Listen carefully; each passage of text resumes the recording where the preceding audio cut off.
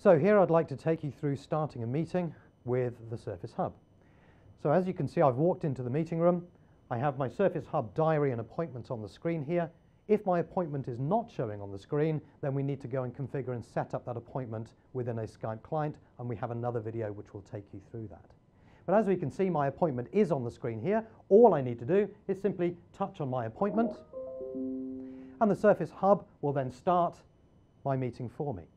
On this side of the screen, we have my Skype for Business controls. So here we can see the videos of anybody who are dialed into the meeting. We also have a view of what they will be seeing from the webcams within the hub itself. In the middle of the screen then, we then have the whiteboard. This whiteboard, just like any other content within a Skype for Business meeting, can be shared with anybody dialed into that call, very simply by clicking on the present screen at the top.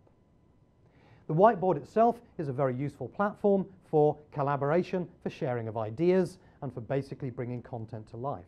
Today, I'm just going to simply put up an agenda for the meeting. And here I could list my bullet points.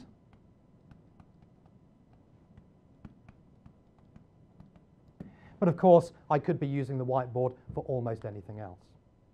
At the end of that meeting, I want to ensure that everybody retains a copy of what we've been discussing and collaborating with. So here at the bottom corner of the screen, I can simply click the email icon, select the Surface Hub email address, and it will pre-create an email that contains that content. Here, I can very simply click the Add All Invitees. Anybody who's been invited to this meeting will now receive a copy of that content. And of course, I can use the plus button to then simply add any further email addresses for people outside that call. When I'm done, we click Send. Once the email is finished, my meeting is finished, I can then simply reset the hub by clicking the I'm done button that will then wipe my content from the device and prepare the device for the next meeting.